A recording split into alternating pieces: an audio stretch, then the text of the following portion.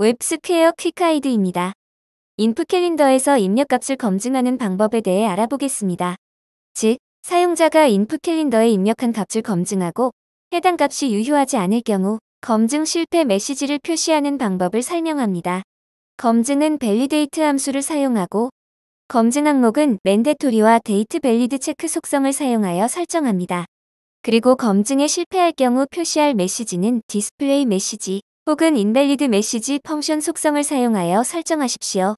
validate 함수로 검증할 때 mandatory 속성으로 입력 여부와 date valid check 속성으로 유효성을 확인할 수 있습니다. input calendar는 사용자가 날짜를 직접 입력하거나 달력 아이콘을 클릭하여 달력에서 날짜를 선택할 수 있는 인터페이스를 제공합니다. input calendar의 검증 항목을 설정해 보겠습니다. mandatory 속성을 검색하고 true로 설정하십시오. 날짜 입력 여부를 검증하기 위함입니다.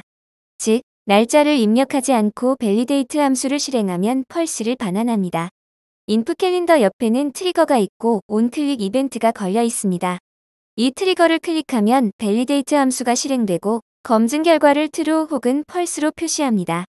데이터를 입력하지 않고 trigger를 클릭하면 false가 반환됩니다. 데이터를 입력하고 트리거를 클릭하면 true가 반환됩니다.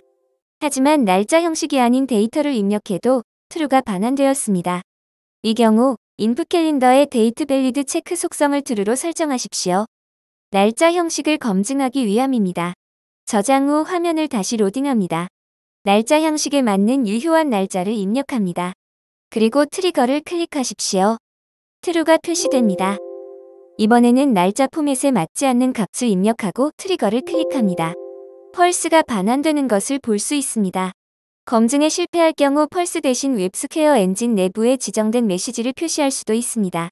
display message 속성을 true로 설정하면 됩니다. 스튜디오로 돌아옵니다. input calendar의 display message 속성을 true로 설정하십시오. 저장합니다. 화면을 다시 로딩합니다. 날짜를 입력하지 않고 트리거를 클릭하면 펄스 대신 엔진 내부에 정의된 메시지가 표시됩니다. 혹은 검증 실패 시 표시할 메시지를 사용자가 직접 정의할 수도 있습니다. 검증 실패 메시지를 반환할 함수 이름을 invalid 메시지 펑션 속성으로 설정하고 해당 함수를 직접 구현하십시오. 검증 실패 메시지를 표시할 함수를 구현한 예제입니다. 날짜를 입력하지 않았을 경우 표시할 메시지와 날짜 형식이 맞지 않을 경우 표시할 메시지를 각각 지정했습니다.